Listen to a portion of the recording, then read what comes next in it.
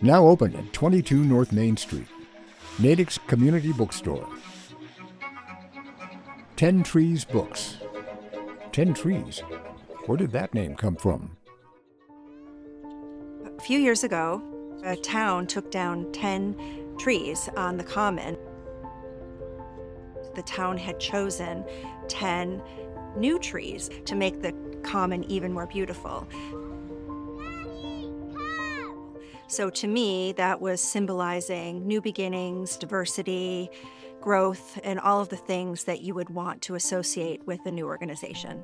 Kim Ricard's new organization first took shape as a dream, then research, then networking in town to find a space, and finally, voila, here we are. And visitors are impressed. Natick has needed a bookstore. Like that's like the one thing that's been missing. And so we're really excited to have it, especially with young kids. Before Kim's voila moment arrived came weeks of hard work. Anybody who's ever moved a household knows how much work it is to move the books. Thousands of books came pouring through the Ten Trees back door. Fiction, fantasy, nonfiction, self help, biography, new releases. This goes in the children's section. All shelved and put in order by Kim and her crew of family and friends. Then there's this moment of like, what if I don't have enough space? And then the next moment is like, what if I don't have enough books?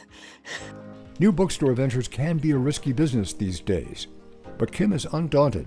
You know, a lot of people say that books physical books are becoming obsolete, but the millennials are telling us that they've been on an electronic all day, and what they really want to do is not only hold a book while they're reading and experiencing that, having that experience, but they want the experience of going and choosing a book and touching it and feeling it.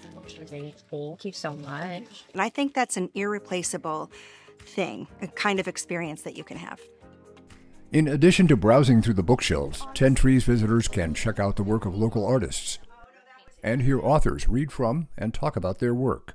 It's fantastic to have a place where local artists and authors and creators can come together. Before Ten Trees Books, this space was the Hive.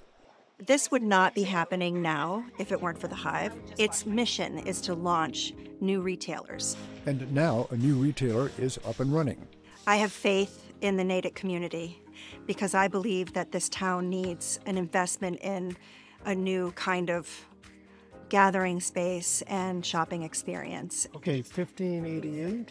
I'm thrilled that there uh, there's a bookstore in Natick. Uh, my sister's a librarian; she's thrilled, and um, I just do a little shopping. It's great. My first impressions: it is a dream bookstore like the dream bookstore that anyone would love.